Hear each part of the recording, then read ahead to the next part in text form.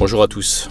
Dans une première partie, je vous avais montré de quelle façon les manifestations organisées sur Internet ne connaissaient pas de succès, sauf quand elles étaient organisées en haut lieu et relayées par les médias. Ensuite, euh, je vous avais montré de quelle façon les médias avaient mis en avant les gilets jaunes et avaient semblé vouloir le RIC à l'instar du gouvernement. Enfin, j'avais conclu sur le fait que le but euh, de tout ça était, alors de manière certaine, pour moi c'est le, régionalisme et son corollaire, la gouvernance mondiale, les deux vont ensemble de toute façon. Et quand je parle de gouvernance mondiale, ce n'est pas le gouvernement mondial, il y a une nuance.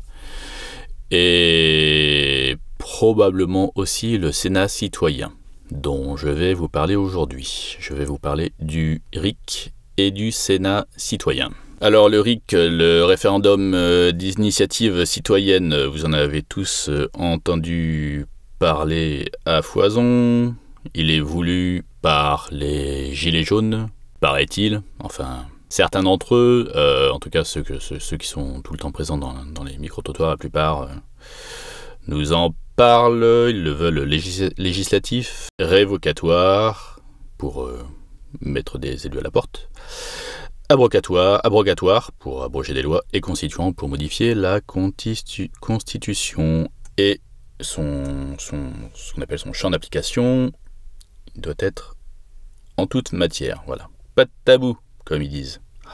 Alors, quel est l'existant aujourd'hui? Je vais la faire euh, assez rapide. Nous avons depuis 2013, dans l'article 11 de la Constitution, un référendum d'initiative partagée qui ne sert à rien, qui n'a jamais été utilisé. Seuls les parlementaires peuvent être à l'initiative de l'organisation d'un référendum.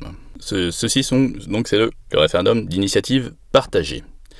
Ce qu'on peut noter au passage, petit détail, euh, le, le, le RIC, RIC, au tout début, donc quand ça était paru, euh, il y avait une petite hésitation euh, dans les termes entre RIC et enfin RIC et RIP, RIC RIP. c'est le RIC qui s'est très vite imposé alors que on parlait de référendum d'initiative populaire sur Internet majoritairement. En tout cas, euh, on va dire dans... Bon, euh, pour faire simple, dans, dans, le, dans, le, public lambda qui suivait ça vaguement sur Internet. Il n'y avait pas grand monde qui suivait ça. Euh, comme je l'ai déjà, déjà dit, beaucoup. c'est surtout Étienne Chouard en fait qui mettait ça en avant. Et sinon, il y, a aussi de petits groupuscules qui faisaient leur truc dans leur coin. et ça, j'en parlerai tout à l'heure. Il y avait donc ce référendum d'initiative populaire, et c'est devenu assez vite le référendum d'initiative citoyenne. Alors, euh, on déconnait un peu sur Internet, en, on plaisantait en disant que oui, euh, Eric, euh, c'est mieux que RIP, parce que RIP, ça fait Rest in Peace. Ha ha ha. Ça veut dire que c'est mort.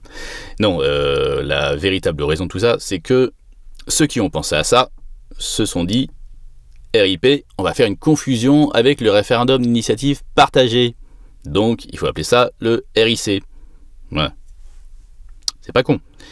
Euh, sauf que ceux qui, ont pensé à ça, ben, ils, sont, ils sont bien au courant de, des faits euh, constitutionnels, on va dire. Euh, ils connaissent leur sujet et pour moi, logiquement, ça aurait dû être le référendum d'initiative populaire, le terme utilisé à l'époque pour les, rares qui, s'intéressaient à ça, qui aurait dû, être utilisé. Bon, très très vite, c'était le RIC. Je continue. Bon, c'est un petit détail, on en pense ce qu'on veut. Je continue. Ah oui, alors, ce qui, ce qui existe d'autre, nous avons l'initiative citoyenne européenne.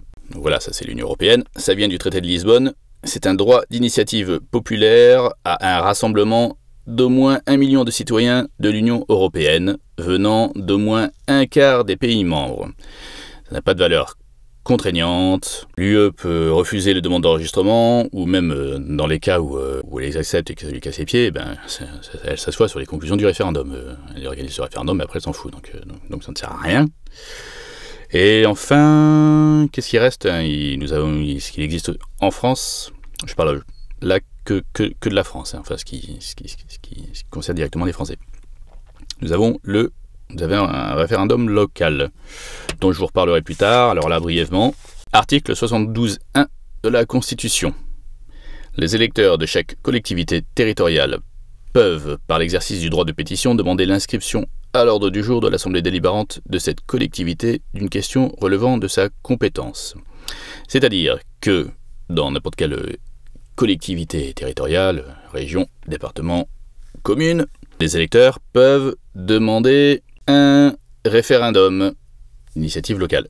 Sauf que l'effet, c'est seulement l'inscription à l'ordre du jour de l'Assemblée. C'est-à-dire que l'Assemblée, elle n'est qu'à l'heure du jour, elle parle de cette idée de référendum, elle est obligée d'en parler, mais après, elle accepte ou pas. Donc, euh, encore une fois, ça ne sert à rien. S'ils veulent pas, ils, ne font pas ça. Le peuple n'a aucun pouvoir là-dessus. Bon, voici.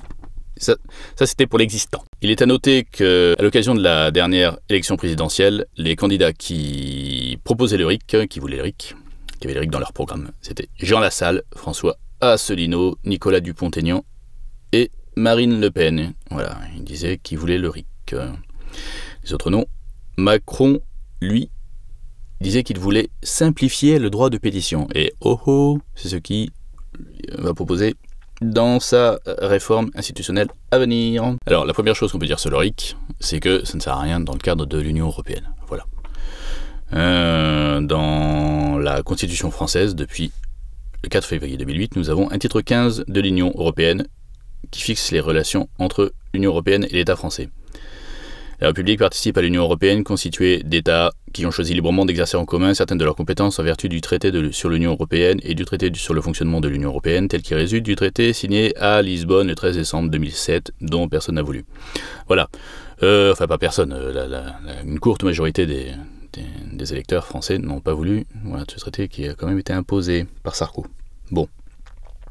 Euh, donc en fait ce qui se passe c'est simple, c'est que c'est que si vous organisez un référendum euh, dont les résultats euh, contredisent euh, les instructions, les GOP de, l'Union européenne, eh bien, c'est de par la, Constitution, c'est l'Union européenne qui, devrait primer. sauf que là, le RIC, serait aussi dans la Constitution. Il y aura un conflit, c'est pas possible.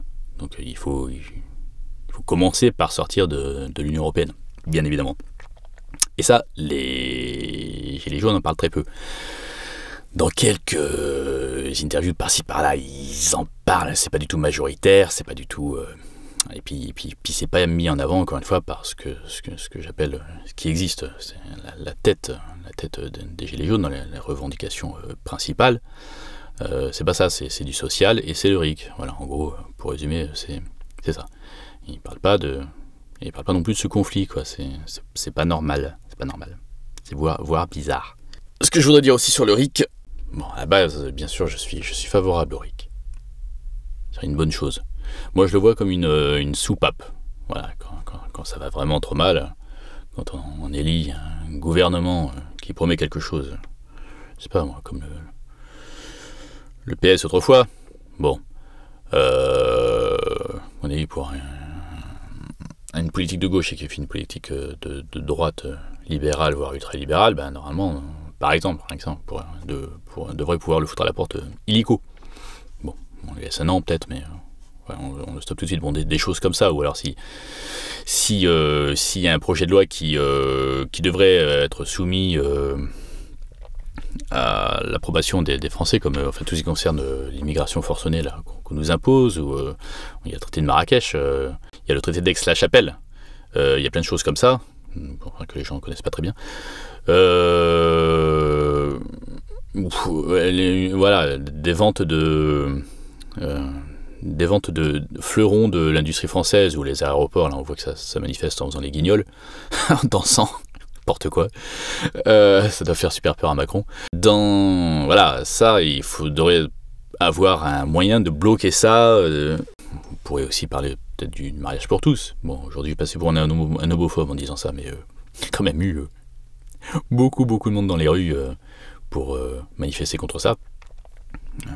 on va dire c'est l'extrême droite, si vous voulez. C'est faux. On va dire c'est des ultra cato réactionnaires, si vous voulez. Enfin bon, c'est pas le sujet. en tout cas, on devrait pouvoir poser la question aux Français, quoi. C'est pas sûr du tout que le ce mariage pour tous, mariage homosexuel en réalité, hein, aurait eu la aurait eu la majorité.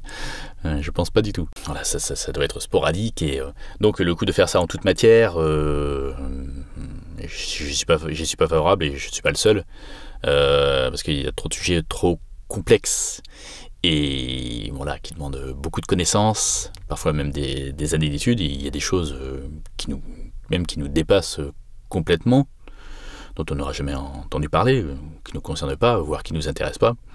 Et puis, et puis bien sûr, tout le monde n'a pas envie de, voter sur tout. Quoi. Ça, tout le monde n'a pas envie de voter sur tout sujet. Euh, les gens n'ont pas forcément la, motivation. Euh, puis il y, a des sujets qui vont être complètement euh, opaques pour les gens. Les Français, le peuple français ne peut pas, comme aucun peuple du monde, ne peut pas voter toutes les lois. C'est absolument impossible. J'ai pris comme ça à la volée pour montrer un petit peu que les Français comprennent. Voilà des exemples de lois. La loi du 2 octobre 87, euh, qui euh, sur la coopération technique entre la France et la République de Guinée équatoriale. Est-ce qu'on va demander l'avis des Français là-dessus? La loi du 4 janvier 1988 sur un accord de non-double imposition entre la République française et la République populaire, les, grands sujets. la République populaire du Bangladesh. la loi de finances de 2018. Il y a eu 119 rapporteurs, des dizaines de milliers de pages. Donc du point de vue simplement matériel, mmh. on ne peut pas faire un référendum, on ne peut pas faire que la loi soit décidée par les Français. Par exemple, la, diplomatie en politique internationale, les, gens, je suis désolé de devoir dire qu'ils n'y connaissent rien. Euh, ils vont connaître, euh, je prétends pas euh, moi-même être un expert, pas du tout, du tout, du tout mais la, masse ne connaît que ce que les médias en disent, euh, c'est-à-dire très peu, et puis, ce sont des mensonges. Alors en ce moment, on a le Venezuela. S'il fallait, fallait, fallait voter pour le Venezuela ou un truc sur la Russie, on les fait.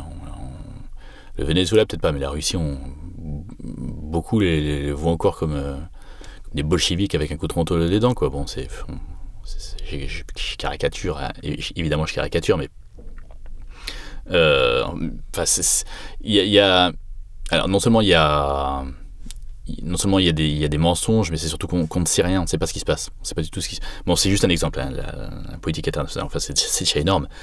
Euh, l'économie, l'économie. La monnaie. Comment ça marche la monnaie Si je vous parle de. Si je vous parle de la balance des paiements euh, Target 2, allez, allez voter là-dessus. Alors ça, c'est ça c'est ça c'est quelque chose sur lequel je, reviendrai plus tard parce que parce que c'est un gros sujet qui qui va revenir. Pour s'opposer pour s'opposer à ça, on parle de l'exemple des de l'étranger et en particulier de la Suisse. Alors la Suisse, la Suisse, euh, l'exemple démocratique. Voilà. Bon, l'initiative populaire suisse. Alors ce qu'il faut savoir, c'est que leur euh, RIC là-bas, hein, bah, il porte pas sur tout. C'est comme nous, il est local. Il est local. Voilà. Sinon, au niveau national, fédéral, là-bas, c'est une fédération, on peut modifier la Constitution et rien d'autre. Ah, la Constitution, on n'a pas envie de la modifier tous les quatre matins, heureusement. Donc, euh, en fait, euh, ça sert à rien. Le, leur dit qu'il est local. Mais surtout, je vais vous raconter un truc très rigolo. Comme j'avais dit déjà dans la première vidéo, le 16 décembre 2018, Edouard Philippe annonce un débat sur le RIC. Et euh, je vous avais dit dans la première vidéo que je vous dirais à quelle, euh, à quelle date les médias ont commencé à traiter autrement le cas des Gilets jaunes. Ils ont commencé petit à petit, ça a été progressif, mais c'est quand même arrivé assez rapidement. Ils ont commencé à moins les inviter, à moins bien les traiter, un peu les malmener, à les porter, à les amener dans leurs contradictions.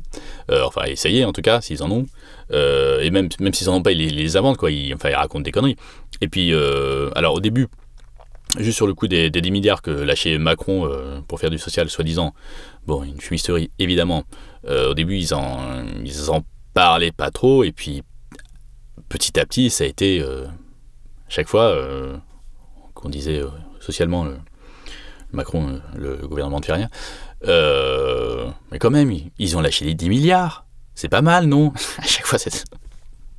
cette réponse de merde. Bon voilà. Euh, alors qu'avant, même même même quand ils quand ils au début qu'ils avaient avaient donc lâché ces 10 milliards, les, médias ne, disaient pas que c'était c'était suffisant, pas du tout. Et donc à partir euh, à partir de là, ils ont commencé à moins inviter les gilets jaunes.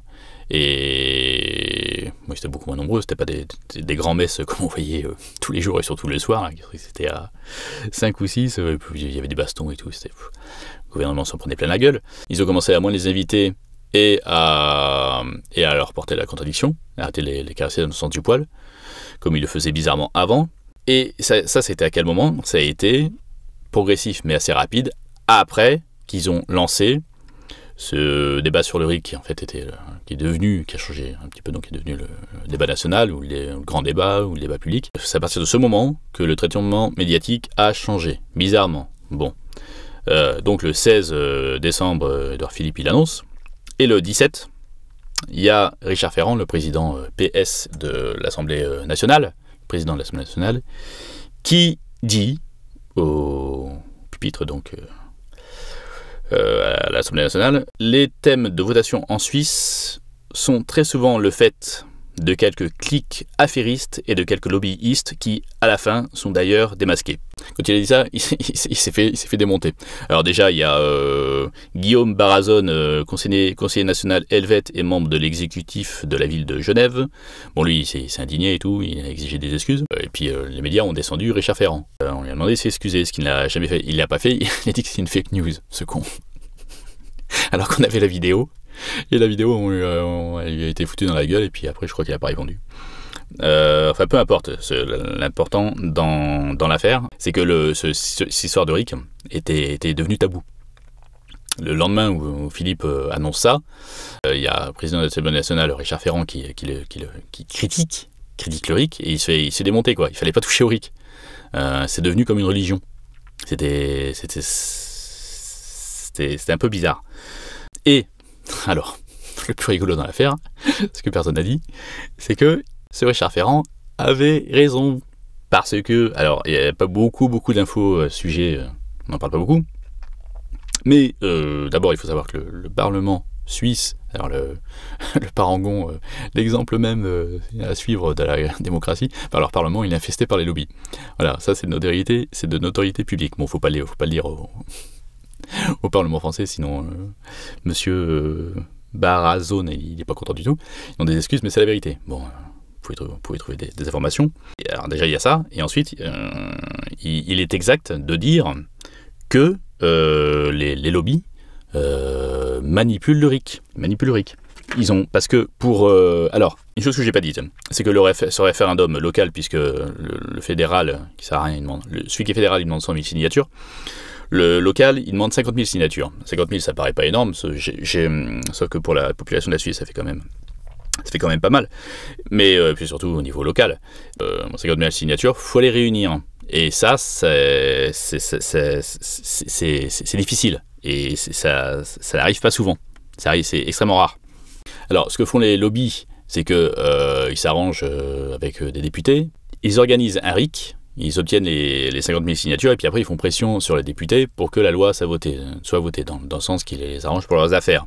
Ce qui se passe dans les faits, c'est que les votations sont menées par les corps intermédiaires.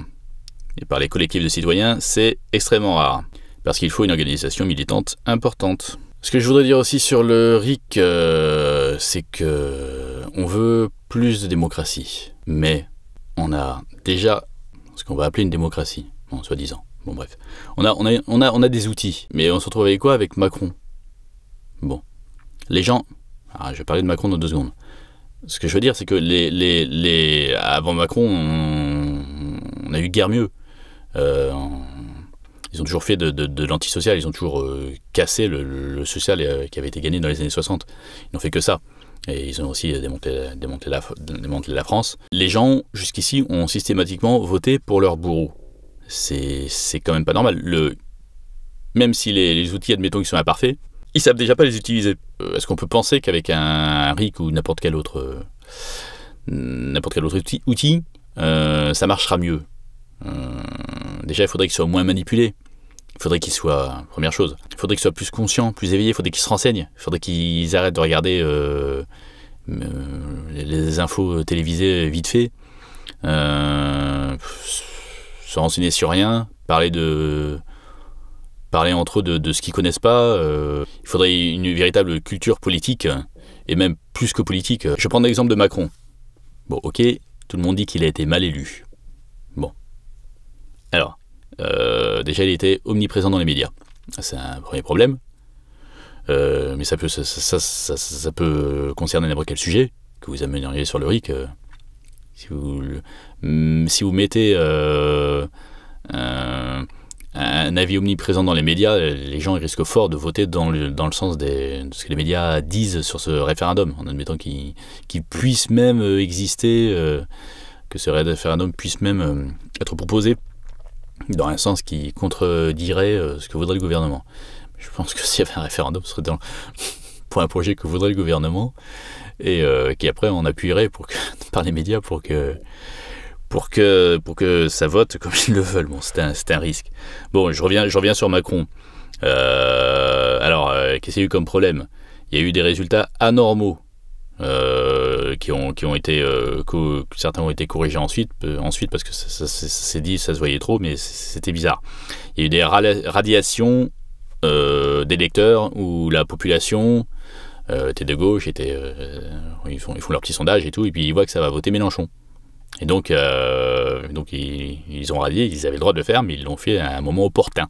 Voilà, les gens étaient surpris, pas prévenus. et voilà, ça, ça nuit à la France Insoumise. Ça, ça nuit à Mélenchon. Euh, alors, il y, a eu des bureaux de vote évacués pour cause d'alerte terroriste. Ça, c'est. Oui, alors, euh, bien sûr, si on y croit, euh, c'est normal. S'il y a une alerte terroriste, on évacue. Mais si on a des doutes, qu'est-ce qui s'est passé pendant que c'était évacué quoi? Des alertes terroristes dans les bureaux de vote, ouais.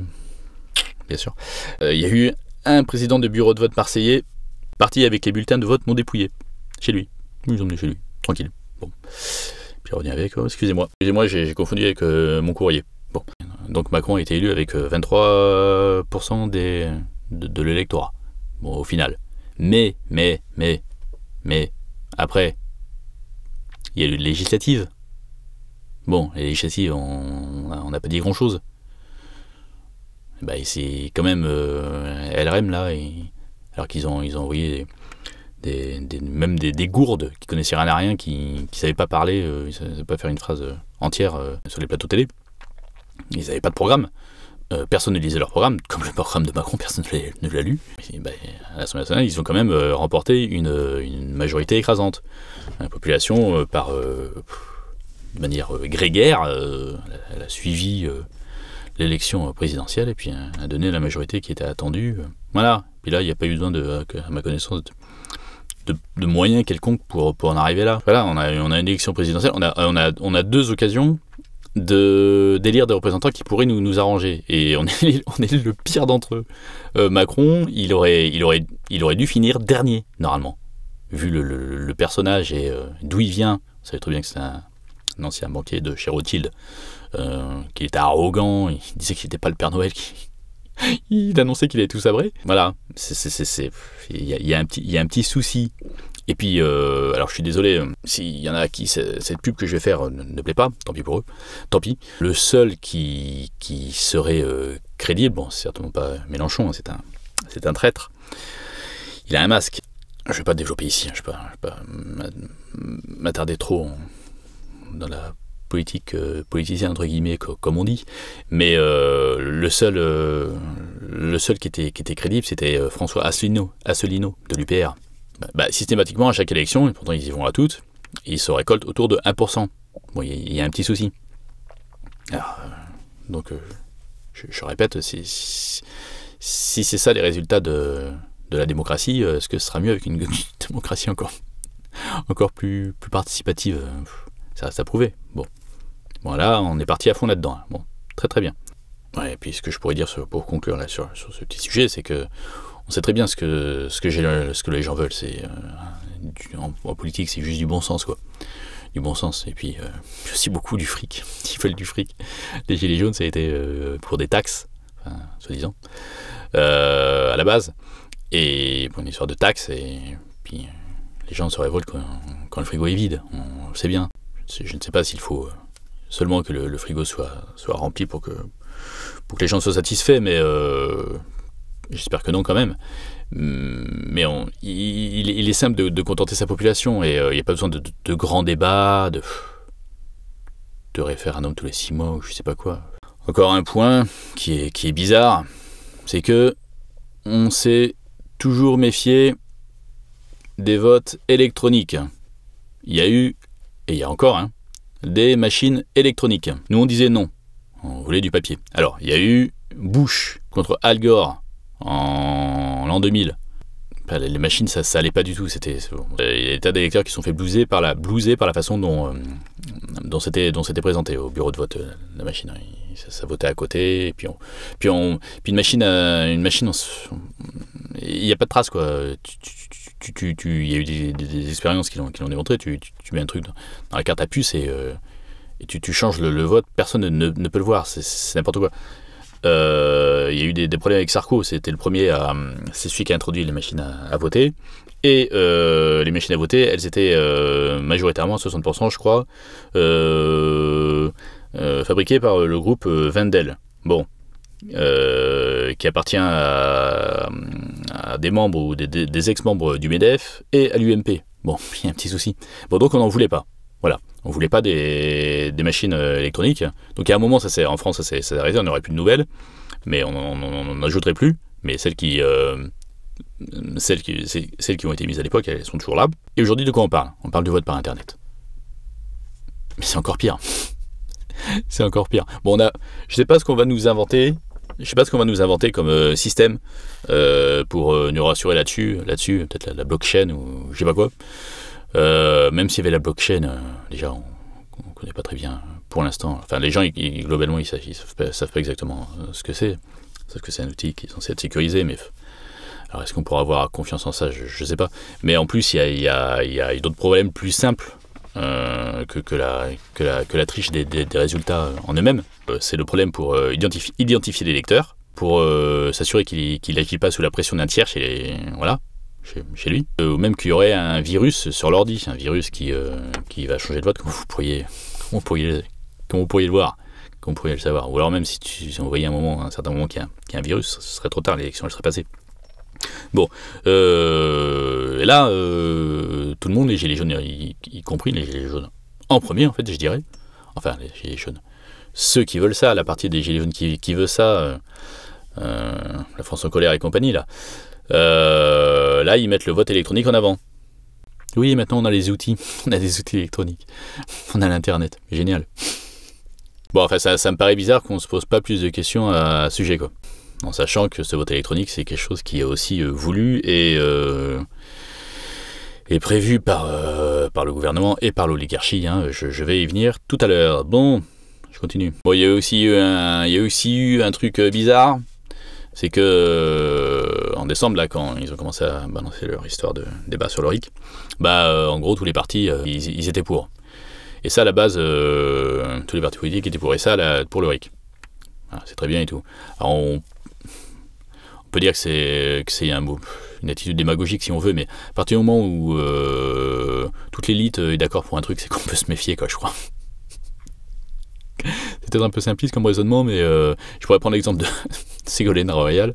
Euh, Ségolène Royal, euh, qui avait dit, donc à la télévision britannique, qui, qui ne feront pas, alors c'est à l'époque de, Hollande, ne feront pas, Hollande président, ils ne feront pas de référendum sur la sortie de l'Union Européenne. Voilà, pas de référendum. Parce que les, Français, ils votent mal, de toute façon. Et puis la question, elle n'est pas bonne. Donc la journaliste en face a été outrée. Vous n'êtes pas démocratique? Mais si, je suis démocratique, mais euh, cette question-là, il ne faut, pas la poser. Enfin, pas de référendum, euh, point barre. Bon, et maintenant, elle dit ouais, le RIC c'est bien. Bon, avec ça, c'est un retournement, un retournement. Euh, enfin, bon. Voilà. On peut se poser une petite question, quoi. Bon, je, continue. Donc l'idée, l'idée du RIC, c'est quelque chose, bon, je répète encore une fois, pour je, suis favorable, même si je, je, je, vais avoir quelques petits euh, doutes sur euh, son efficacité. Bon, alors, euh, bon, je suis quand même favorable à son instauration, évidemment. Qui ne le serait, qui ne serait pas Mais la, façon dont ça a été amené, encore une fois, avec cette histoire de gilet jaune me paraît, me paraît louche et tout ce qui se passe autour, dont j'ai déjà parlé. Et pour moi, c'est un, moyen euh, d'amener à cette histoire de, participation euh, citoyenne, de démocratie participative. Voilà, la, démocratie participative, comme j'en parlerai tout à l'heure, c'est quelque chose qui, euh, est prévu depuis longtemps en fait. Hein. Je parlerai plus tard, je crois que de mémoire, ça, date au moins officiellement dans les textes qu'on peut trouver des années 2000. et là, plus récemment, il y a eu des trucs. Euh, et ça va dans le sens euh, que, je, répète, le régionalisme, la, gouvernance mondiale. Bon, ça va dans ce sens-là. Pour moi, le RIC est lié à ça. Même si le RIC n'est pas mauvais en soi, au contraire, la façon dont c'est amené là, pour moi, c'est dans, dans ce but-là. Et il est, probable aussi, alors ça je, vais essayer de vous le montrer, euh, qui, vont, vont, vont organiser le Sénat citoyen ou la chambre citoyenne, ils s'appelleront ça comme ils veulent. Et ça, ça, va, être, ça va paraître très séduisant, très séduisant, euh, ça va être nouveau. Les gens vont mettre un moment à comprendre de, quoi il s'agit, s'ils le font vraiment. Il va y avoir un effet d'émerveillement, ça va, ça va relancer euh, la, République, euh, qui est chahutée. Et pendant ce temps, on verra pas ce qui se passe à côté, quoi. Ce qui se passe à côté. Je vais en parler maintenant.